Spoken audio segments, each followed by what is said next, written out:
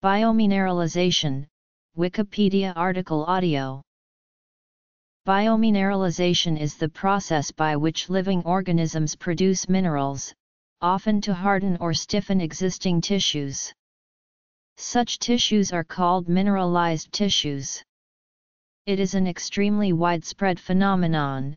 All six taxonomic kingdoms contain members that are able to form minerals, and over 60 different minerals have been identified in organisms. Examples include silicates in algae and diatoms, carbonates in invertebrates, and calcium phosphates and carbonates in vertebrates.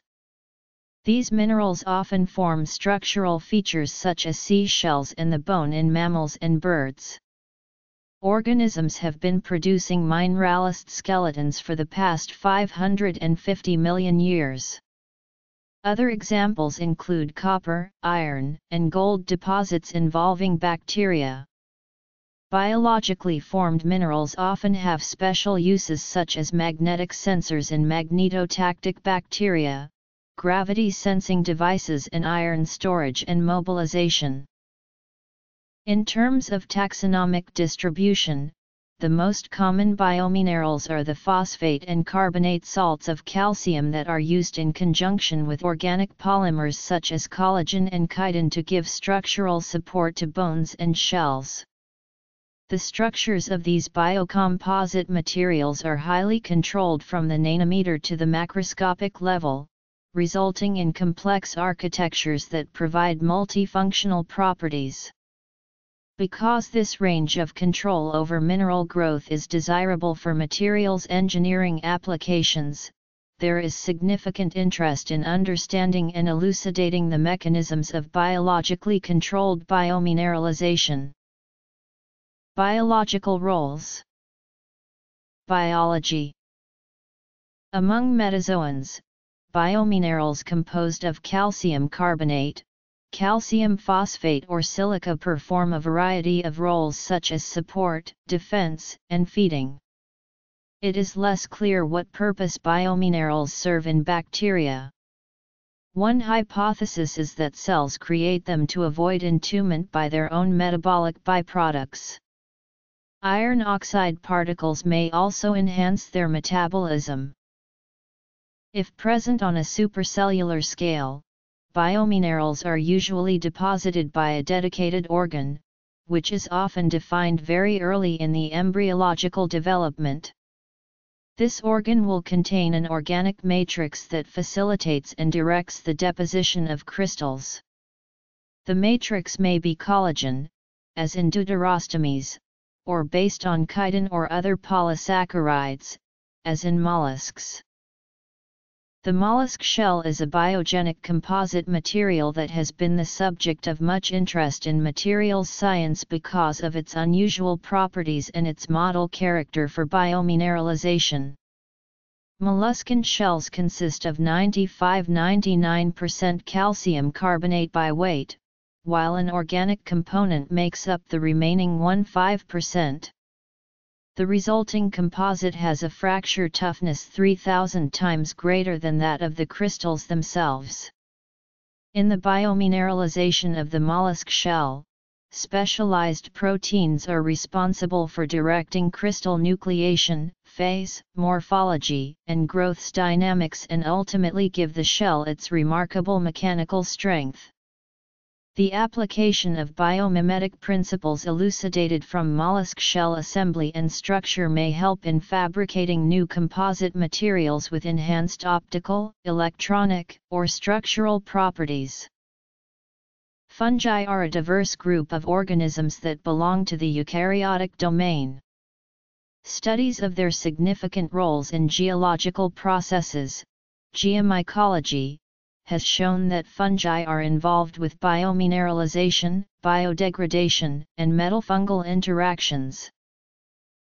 In studying fungi's roles in biomineralization, it has been found that fungi deposit minerals with the help of an organic matrix, such as a protein, that provides a nucleation site for the growth of biominerals. Fungal growth may produce a copper-containing mineral precipitate, such as copper carbonate produced from a mixture of 2CO3 and CuCl2. The production of the copper carbonate is produced in the presence of proteins made and secreted by the fungi. These fungal proteins that are found extracellularly aid in the size and morphology of the carbonate minerals precipitated by the fungi. Shell formation in mollusks In addition to precipitating carbonate minerals, fungi can also precipitate uranium-containing phosphate biominerals in the presence of organic phosphorus that acts as substrate for the process. The fungi produce a hyphal matrix, also known as mycelium, that localizes and accumulates the uranium minerals that have been precipitated. Although uranium is often deemed as toxic towards living organisms, certain fungi such as Aspergillus niger and Paecilomyces javanicus can tolerate it. Though minerals can be produced by fungi, they can also be degraded, mainly by oxalic acid producing strains of fungi. Oxalic acid production is increased in the presence of glucose for three organic acid producing fungi, Aspergillus niger, Serpula himantioides, and Trametes versicolor. These fungi have been found to corrode apatite and galena minerals. Degradation of minerals by fungi is carried out through a process known as neogenesis. The order of most to least oxalic acid secreted by the fungi studied are Aspergillus niger, followed by Serpula himantioides, and finally Trametes versicolor. These capabilities of certain groups of fungi have a major impact on corrosion, a costly problem for many industries and the economy. Mineral production and degradation in fungi because extracellular iron is strongly involved in inducing calcification, its control is essential in developing shells. The protein ferritin plays an important role in controlling the distribution of iron. The most common mineral present in biomineralization is hydroxyapatite, which is a naturally occurring mineral form of calcium apatite with the formula Ca1062. Hydroxyapatite crystals are found in many biological materials including bones, fish scales, and cartilage. Each material has a mineral content which corresponds with the required mechanical properties, where increasing Ha content typically leads to increased stiffness but reduced extensibility. The first evidence of biomineralization dates to some 750 million years ago, and sponge-grade organisms may have formed calcite skeletons 630 million years ago. But in most lineages, biomineralization first occurred in the Cambrian or Ordovician periods. Organisms used whichever form of calcium carbonate was more stable in the water column at the point in time when they became biomineralized, and stuck with that form for the remainder of their biological history for a more detailed analysis. The stability is dependent on the Ca-mg ratio of seawater, which is thought to be controlled primarily by the rate of seafloor spreading, although atmospheric CO2 levels may also play a role. Biomineralization evolved multiple times, independently, and most animal lineages first expressed biomineralized components in the Cambrian period. Interestingly, many of the same processes are used in unrelated lineages, which suggests that biomineralization machinery was assembled from pre-existing off-the-shelf components already used for other purposes in the organism.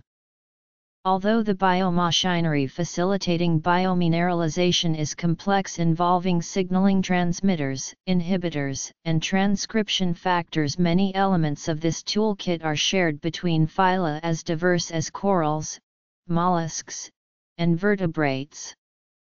The shared components tend to perform quite fundamental tasks, such as designating that cells will be used to create the minerals, whereas genes controlling more finely tuned aspects that occur later in the biomineralization process such as the precise alignment and structure of the crystals produced tend to be uniquely evolved in different lineages.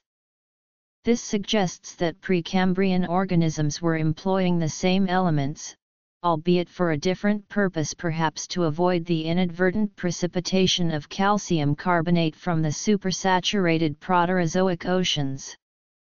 Forms of mucus that are involved in inducing mineralization in most metazoan lineages appear to have performed such an anticalcificatory function in the ancestral state. Further, certain proteins that would originally have been involved in maintaining calcium concentrations within cells are homologous to all metazoans, and appear to have been co-opted into biomineralization after the divergence of the metazoan lineages. The galaxins are one probable example of a gene being co-opted from a different ancestral purpose into controlling biomineralization, in this case being switched to this purpose in the Triassic scleractinian corals. The role performed appears to be functionally identical to the unrelated pearlin gene in mollusks. Carbonic anhydrase serves a role in mineralization in sponges, as well as metazoans, implying an ancestral role. Far from being a rare trait that evolved a few times and remained stagnant, biomineralization pathways in fact evolved many times and are still evolving rapidly today. Even within a single genus it is possible to detect great variation within a single gene family. Chemistry the homology of biomineralization pathways is underlined by a remarkable experiment whereby the nacreous layer of a molluscan shell was implanted into a human tooth, and rather than experiencing an immune response, the molluscan nacre was incorporated into the host bone matrix. This points to the exaptation of an original biomineralization pathway.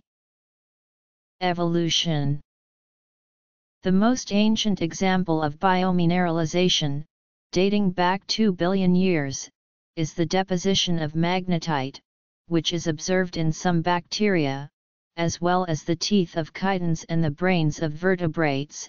It is possible that this pathway, which performed a magnetosensory role in the common ancestor of all bilaterians, was duplicated and modified in the Cambrian to form the basis for calcium-based biomineralization pathways. Iron is stored in close proximity to magnetite-coated chitin teeth, so that the teeth can be renewed as they wear. Not only is there a marked similarity between the magnetite deposition process and enamel deposition in vertebrates but some vertebrates even have comparable iron storage facilities near their teeth. Astrobiology It has been suggested that biominerals could be important indicators of extraterrestrial life and thus could play an important role in the search for past or present life on Mars. Furthermore, organic components that are often associated with biominerals are believed to play crucial roles in both prebiotic and biotic reactions. On January 24, 2014, NASA reported that current studies by the Curiosity and Opportunity rovers on the planet Mars will now be searching for evidence of ancient life, including a biosphere based on autotrophic, chemotrophic, and slash or chemolithoautotrophic microorganisms, as well as ancient water, including fluvio-lacustrine environments that may have been habitable. The search for evidence of habitability, taphonomy, and organic carbon on the planet Mars is now a primary NASA objective. Potential applications Most traditional approaches to synthesis of nanoscale materials are energy inefficient, requiring stringent conditions and often produce toxic byproducts. Furthermore, the quantities produced are small, and the resultant material is usually irreproducible because of the difficulties in controlling agglomeration. In contrast, materials produced by organisms have properties that usually surpass those of analogous synthetically manufactured materials with similar phase composition. Biological materials are assembled in aqueous environments under mild conditions by using macromolecules. Organic macromolecules collect and transport raw materials and assemble these substrates and into short and long-range ordered composites with consistency and uniformity. The aim of biomimetics is to mimic the natural way of producing minerals such as apatites. Many man-made crystals require elevated temperatures and strong chemical solutions, whereas the organisms have long been able to lay down elaborate mineral structures at ambient temperatures. Often, the mineral phases are not pure but are made as composites that entail an organic part, often protein, which takes part in and controls the biomineralization. These composites are often not only as hard as the pure mineral but also tougher, as the microenvironment controls biomineralization. Biomineralization may be used to remediate groundwater contaminated with uranium. The biomineralization of uranium primarily involves the precipitation of uranium phosphate minerals associated with the release of phosphate by microorganisms. Negatively charged ligands at the surface of the cells attract the positively charged uranyl ion. If the concentrations of phosphate and UO22 are sufficiently high, minerals such as autunite 2210-12H2O or polycrystalline HuO2 may fourth form thus reducing the mobility of UO22 Compared to the direct addition of inorganic phosphate to contaminated groundwater, Biomineralization has the advantage that the ligands produced by microbes will target uranium compounds more specifically rather than react actively with all aqueous metals. Stimulating bacterial phosphatase activity to liberate phosphate under controlled conditions limits the rate of bacterial hydrolysis of organophosphate and the release of phosphate to the system, thus avoiding clogging of the injection location with metal phosphate minerals. The high concentration of ligands near the cell surface also provides nucleation foci for precipitation, which leads to higher efficiency than chemical precipitation. Examples of biogenic minerals include Uranium contaminants in groundwater List of minerals Apatite in bones and teeth, aragonite, calcite, fluorite in vestibular systems of vertebrates, aragonite and calcite in travertine and biogenic silica deposited through algal action, hydroxyl apatite formed by mitochondria, magnetite and greigite formed by magnetotactic bacteria, pyrite and marcasite in sedimentary rocks deposited by sulfate-reducing bacteria, quartz and diamonds formed from bacterial action on fossil fuels. Footnotes. Notes. Additional sources